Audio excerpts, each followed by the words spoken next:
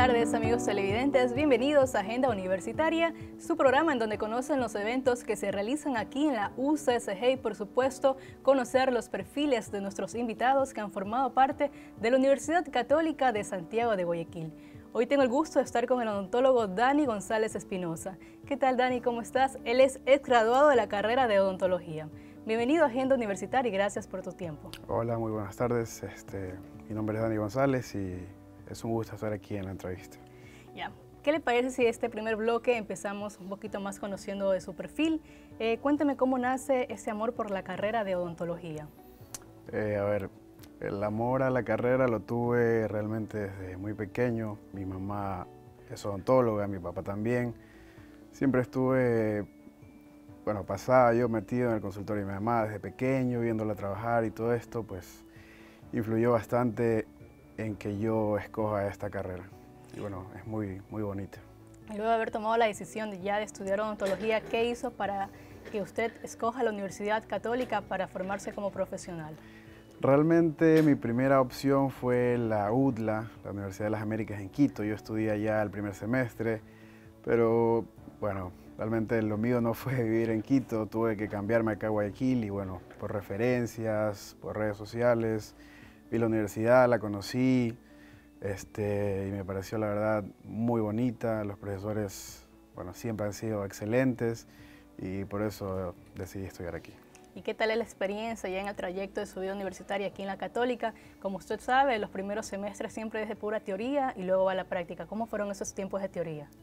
Bueno, al principio sí fue un poquito complejo, más que nada la mayoría de las carreras de, de la Facultad de Ciencias Médicas sí son un poco complejas al principio, al menos hasta adaptarse. Pero bueno, con, con la ayuda de los profesores y sobre todo los compañeros siempre apoyándonos, nos reuníamos a estudiar, a leer, también a, divertirnos y todo, y en conjunto poco a poco se fue dando con el transcurso de los ciclos a que me adaptara más a la carrera y que bueno, cada vez me vaya un poquito mejor. Y en el, momento de hacer las prácticas, ¿cómo le fue? ¿Qué tal esa experiencia? Alrededor de quinto ciclo más o menos empresa, empiezan las prácticas preprofesionales. Primero se empiezan en estos modelos de, de, plástico, los fantomas, en todo esto, y luego ya en pacientes. Pues los primeros pacientes sí son un poco más, este, tenemos un poco más de cuidado, nerviosismo quizás. Claro. Eh, mi primer paciente recuerdo que fue uno de exodoncia, que es una extracción dental. Y sí estaba un poquito nervioso, a lo mejor no tanto como otros, pero me fue muy bien. ¿Y los pacientes son aquí mismos de la universidad o ustedes consiguen pacientes externos? No, aquí en la universidad nosotros tenemos que conseguir a los pacientes que ellos asistan en un determinado horario a la clínica, que lleven su cédula, los registran, les hacemos la historia clínica, un diagnóstico completo y luego procedemos a, a tratarlos. ¿Qué tal la parte, de, la parte de la enseñanza por parte de los docentes al momento de ya empezar ustedes sus prácticas aquí en la universidad? Bueno, al menos los docentes que me han tocado a mí han sido, pues, los que me han apoyado al menos excelentes. Yo soy muy amigo de ellos, incluso con algunos hasta además. Eh, bueno, docentes siempre hay de todo, ¿no? Quizás algunos no tan buenos por ahí, es la excepción, pero la mayoría genial. En el trayecto ya de la carrera universitaria, eh, en algún momento del semestre te proyectaste a algo más grande, luego de la universidad, ¿qué voy a hacer? ¿Tendré mi consultorio aparte? ¿Qué, ideas te venían? ¿Qué proyectos? Bueno, la verdad sí tengo varias metas y considero que las estoy cumpliendo relativamente bien. Este, pues una de mis metas es a partir de ahora terminar la rural, llegar a hacer una especialidad, luego un máster y quizás eh, en algún rato un PhD y bueno, llegar a ser el mejor o uno de los mejores. ¿Qué tal ahora cómo vas en la rural? ¿Cómo te sientes? ¿En dónde te tocó hacerla? Todavía no aplicamos mm. para un centro en específico. eso inicia en enero, pero recién hace unos tres días di el examen y pues me fue súper bien. Luego ya de culminar tus estudios, la Universidad eh, Católica cumplió tus expectativas de enseñanzas, de aprendizaje. Sí, totalmente. Este, al menos yo la pasé en mi vida universitaria increíble y bueno, súper bien.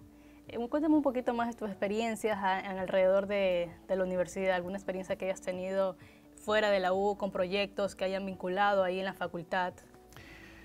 Bueno, la universidad fue organizando eventos como la Casa Abierta, donde hacíamos proyectos, exposiciones, poníamos incluso dulces, este, venía, venía gente de los colegios, iba a cada estante, incluso algunos venían como tours escolares a, a ver qué tal era la carrera, conocer las clínicas. También aparte nos hacían ir a escuelitas, a enseñarle a los niños sobre, sobre la educación dental, sobre la prevención y todas esas cosas. Y, y bueno, también proyectos aparte de la U, en redes sociales, todas esas cosas, hacer videos para redes sociales sobre cómo hacer determinado tema. A mí me tocó, me acuerdo, de cómo hacer una modificación de grapas para hacer ontología restauradora. También ese concurso gané y bueno, me, me regalaron un, un iPad. ¿Quién estaba detrás de todas esas organizaciones y proyectos? Estaba la Asociación de Estudiantes de Odontología. Bueno, ellos me entregaron el premio y para las casas abiertas y todo, bueno, la, la, dirección de odontología. Y ese proyecto que me acabas de comentar que ganaste un premio, ¿de qué se trató? ¿Cómo lo hiciste? ¿Lo hiciste solo o acompañado de un grupo? Eh, lo hice solo realmente. Eh, ellos pidieron a cualquiera que podría concursar hacer un video de, era alrededor de uno a tres minutos, mostrando alguna práctica de la especialidad que a él más le guste, en mi caso es la odontología restauradora. Yo hice una modificación de grapas, que es para hacer un aislamiento, para colocar coronas, carillas, todo esto que sea estético. Y bueno, lo hice poco a poco, grabé, subí el video y pues aún recuerdo que la nota fue 9.93 y, y bueno, me, me, regalaron un iPad, que estuvo súper cool. Como estudiante, ¿se te complicó hacer ese proyecto? Me imagino que no, para ganar un premio se te debió ser súper fácil. La verdad no fue ni difícil ni tampoco fácil. Sí fue complicado, pero como es algo que me gusta bastante, cuando... ¿Alrededor algo... de cuánto tiempo te tomó hacer este proyecto? Eh, ese video lo hice en uno o dos días. No oh. fue, fue laborioso, pero no fue tan, tan complicado. Ya. Tengo entendido que también este, ganaste con la mejor tesis y también recibiste un reconocimiento por parte de vicerrectorado, pero ¿qué te parece si eso me comentas en el segundo bloque? Sí, seguro. Nos vamos a nuestro primer espacio publicitario. Sigan aquí conectados que ya volvemos con más información aquí en Agenda Universitaria.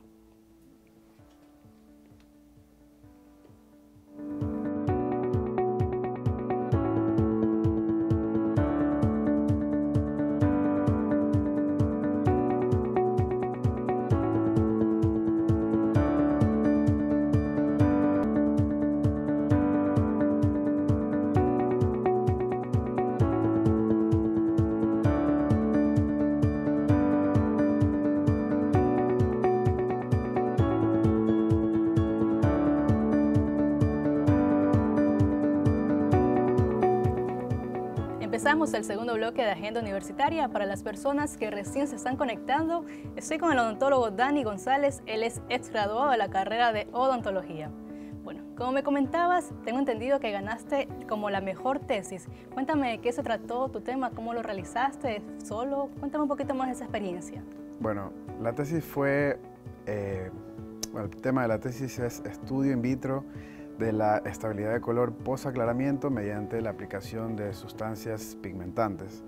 Fue un estudio eh, in vitro experimental, lo realizamos en laboratorio. Antes que nada, ¿cómo nace esta idea de este tema? ¿Por qué la escogiste? Bueno, este tema está relacionado con la odontología restauradora, odontología que se encarga bueno, de, del tratamiento para recuperar función, estética, eh, en este caso, bueno, más se dedicó a la estética, que es el tema del aclaramiento, también llamado blanqueamiento. Eh, este tema, bueno, siempre, siempre estuvo ahí en mi mente, siempre me gustó tener los dientes más blancos y cómo podía influir estas bebidas que consumimos habitualmente, como el café, la Coca-Cola, el vino, cómo podía influir en una persona que se realice un blanqueamiento, un aclaramiento, que tanto podía pigmentar sus dientes eh, a lo largo del tiempo. Entonces de ahí nació la idea. ¿Y cómo te fue? ¿Cómo, cómo fue eh, la tesis en alrededor del, del, camino que son seis meses que te dan para hacer la tesis? Eh, sí, fue, primero hicimos una planificación, recolecté los materiales, eh, fueron bastantes dientes, más de 100, luego hicimos un recorte, nos quedamos solo con, con 72 piezas, fuimos haciendo poco a poco el proceso, lo sumergimos en vino, café, Coca-Cola. Y bueno, resultó al final que la bebida que más tiene el potencial de pigmentar los dientes es el vino, seguido por la Coca-Cola y luego el café. ¿Qué tan difícil se te hizo conseguir? Me, estás comentando que conseguiste como que dientes para probar esto en los diferentes componentes, ¿no? Sí, fue, esa fue una de las partes más complicadas porque no es tan fácil conseguir esto de los dientes. Pero por suerte ahí me ayudó muchísimo mi mamá. Ella desde que estaba, bueno, ella tiene 40 años de odontóloga. Ella se graduó en la Universidad Central. Desde ese tiempo ella ha guardado y recolectado dientes. Entonces, todos esos me los dio y aparte amigas de ella que también son odontólogas nos donaron esos dientes a la universidad y bueno, a mí para hacer la tesis. ¿Este proyecto lo hiciste solo o acompañado? Eh, lo hacemos con un tutor, en este caso tutora, eh, ella se llama María José Valivieso y con otro doctor también, se llama Luis Valladares. Él me prestó un aparatito que se llama espectrofotómetro para tomar el color digitalmente. Listo, luego de presentar la tesis, tengo entendido que recibes un reconocimiento por parte de Vicerrectorado de Investigación y Posgrado. Sí. De hecho, por la doctora Nancy Wong. ¿Qué tal? ¿Qué tal esa experiencia? ¿Cómo te sentiste al recibir este reconocimiento? Bueno, previo a eso me habían notificado que gané como la mejor tesis de la carrera. Este, obviamente lo celebré y todo. Después me llegó el comunicado de que había ganado la mejor tesis de la facultad. Me parece que fue un asistente de la vicerrectora que me escribió, pues. ¿Pero está, habías entrado en, que, en algún concurso o fue simplemente una elección que no estabas enterado? Yo ni sabía que, iba, que se hacía eso. Es, ella me, nos mandaron un correo, mi tutora me escribió, me dijo por WhatsApp, oye, siéntate, no te lo vas a creer, ganamos a la mejor tesis.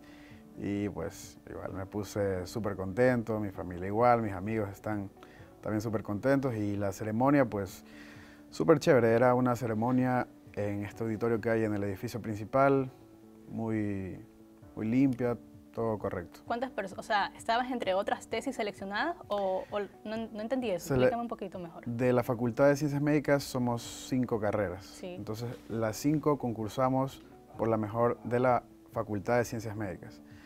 Eh, obviamente las mejores tesis de cada carrera. Entonces, de las cinco, pues el jurado y todos los que están conformados para esa elección, pues me seleccionaron y luego me dio la noticia vicerrectorado. Listo. Y cuando, cuando hiciste esa perdón, cuando recibiste ese reconocimiento, volviste a hablar un poco de lo que fue tu tesis, explicaste, me imagino, a las personas que estuvieron presentes. ¿O simplemente lo recibiste? Ellos me hicieron crear un póster, eh, porque iban a hacer una exposición de ciencias, del Club de Ciencias, que tengo entendido que se formó hace poco. Sí, exacto. Aunque me dijeron que no era necesario que yo lo expusiera, simplemente los otros compañeros de otras facultades iban a exponer lo que ellos investigaron, pero las tesis en sí me dijeron que no era necesario exponerlas, que solo eran como para presentación y no, no la expuse, solo se la presentó en un póster y ya luego en la ceremonia me dieron el, el reconocimiento. Y la tesis que, bueno, tu tesis que fue seleccionada como la mejor, ¿qué tiempo te tomó hacerla? ¿Cumpliste los seis meses o la terminaste antes? Cumplí los seis meses, la entregué ya completamente un día antes de la fecha máxima. Yo creo que fui uno de los últimos en entregarla porque tuve que hacer, como por ejemplo, tuve que hacer 1500 lecturas con este aparatito. Entonces, ¿Con qué aparato, discúlpeme? Se llama espectrofotómetro, ¿Sí? de la marca Vitra. Es como, no sé, tiene una forma como un pájaro. Eso le tiene una punta, eso le colocamos en cada diente. Yo hice seis bloques de, dientes, entonces en cada diente iba tomando el color, apuntaba. Y así hice 1500 veces para anotarlo todo. Se hizo la estadística, todos los protocolos y bueno, de ahí salió el resultado y las conclusiones. Me habías comentado que en, tu investigación descubriste que el vino es el que más daño eh, afecta ¿no? a los dientes. ¿Cómo, ¿Cómo hiciste eso para poder saber esa parte? ¿Cómo lo trabajaste? Para concluirlo, eh, nosotros, o sea, nos dio ese resultado porque de los, teníamos tres grupos control y tres grupos este, que ya los habíamos aclarado. Es como decir, tenemos tres pacientes que ya tienen el aclaramiento y tres pacientes que no se han aclarado los dientes. Los, los sometemos a un régimen con estas sustancias, es como decir, a los pacientes les damos que ingieran bastante Coca-Cola, vino y café. Y vemos qué paciente es el que más pigmenta. Entonces los que tenían, los dientes que tenían eh, la etiqueta de vino, fueron los que más se pigmentaron. Tenían eh, la estadística digital con el espectrofotómetro que se pigmentaron más, es decir, se oscurecieron más que eh, otras bebidas. ¿Y es bastante la diferencia entre el café y el vino? Es bastante. Es, no recuerdo exactamente, pero podemos poner un porcentaje. El, del vino es 38 puntos y el café era algo así como 22. Entonces es casi el doble. Te cuento dato curioso de mi parte. Yo más bien pensaba que el café era el más dañino. No sabía eso del vino. Para mí es algo nuevo. Sí. Bueno, realmente se piensa que es el café porque el café lo consumimos todos los días. Quizás el vino no lo consumimos todos los días, pero podemos tener como ejemplo los argentinos. No sé si nos hemos dado cuenta. Ellos tienen quizás el... Bueno, los que ellos consumen allá mucho vino. Mucho vino. Ellos eh, tienen usualmente los dientes un poco más amarillos que este, otra población como Ecuador, Perú, Colombia, etc. Y se puede ver, eso quedará para otro estudio, por el consumo masivo que ellos tienen del vino. En España igual, consumen muchísimo vino. Bueno, retomando nuevamente a lo que fue la premiación, cuéntame cómo te sentiste luego de esto junto a tu familia que estuvo detrás de ti en este proyecto, a tu mami, a tu papi que te ayudaron. Bueno, este, realmente para la tesis es algo curioso que yo no le dije a nadie que vaya porque es como que cuando a veces, cuando hablo durante, bueno, al frente de muchas personas me pongo un poco nervioso quizás a veces. Entonces no le dije a nadie que iba a exponer ese día, incluso mi familia no fue. Y la doctora, que a la final me dio el premio, me dijo, oye, ¿por qué no invitas a tu familia y todo esto? Entonces es por eso. Y bueno, en la premiación este, estuvo mi tutora al lado, con ella, ella también le dieron un reconocimiento y pues súper, súper contento por, por el logro. Chéverísimo, te felicito. Antes de terminar, la, de terminar la entrevista, ¿algún consejo que quieras dar a algún estudiante que va a empezar su vida universitaria y tal vez quiera seguir la carrera de odontología? El mejor consejo que le podría dar es que trate, conforme pase la carrera, en hacerse notar, en marcar quizás una diferencia con otros estudiantes.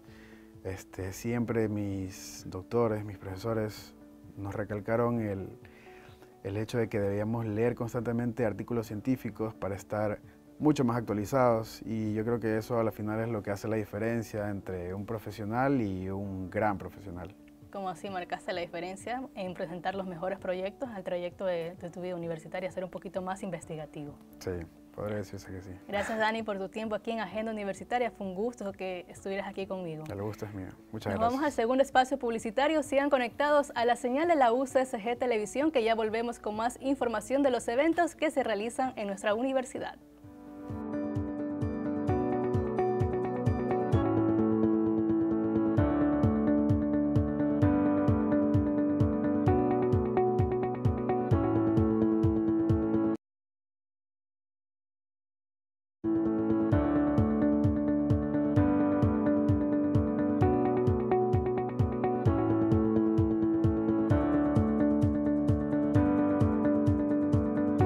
Comenzamos el tercer y último bloque de Agenda Universitaria con la mejor información.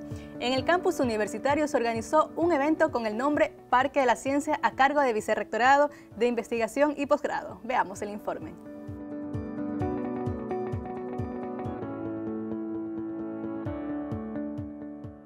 Campus universitario se organizó un evento con el nombre Parque de la Ciencia, a cargo de Vicerrectorado de Investigación y Posgrado, en el cual invitaron a diferentes colegios de Guayaquil para que puedan entender de otra perspectiva por parte de docentes y estudiantes la importancia de investigar de manera creativa.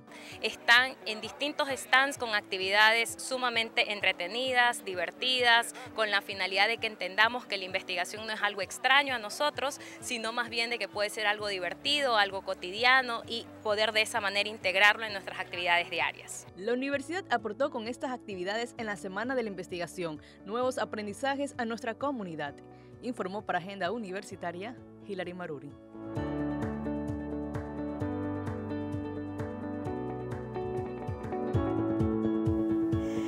En la sala Zoom de la Facultad de Ingeniería se llevó a cabo el develamiento del retrato del ingeniero Carlos Chon Díaz y la ingeniera Lilia Valareso, exdecana de dicha facultad.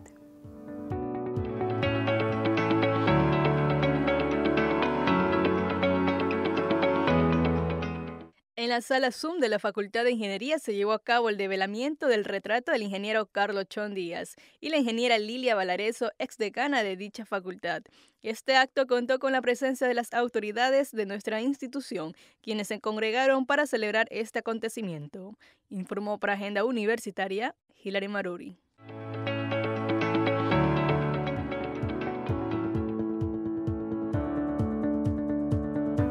Para finalizar, se llevó a cabo un conversatorio en las instalaciones de la UCSG para tratar temas sobre las normativas de producción orgánica para la cuenca del río Guayas. Veamos.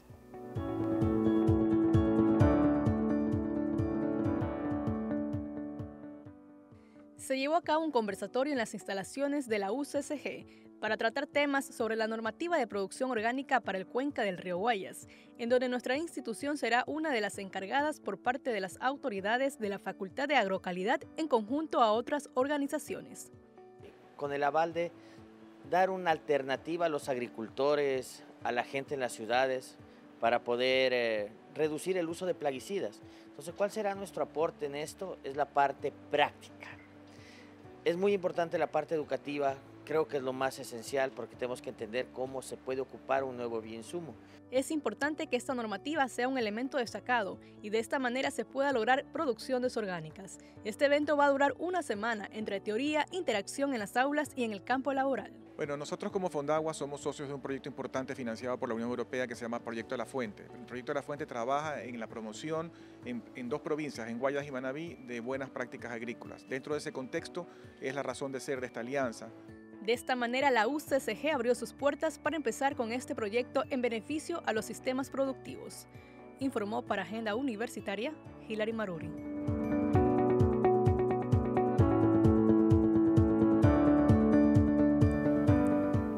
Esto fue todo en Agenda Universitaria. Soy Hilary Maruri y conmigo hasta una próxima.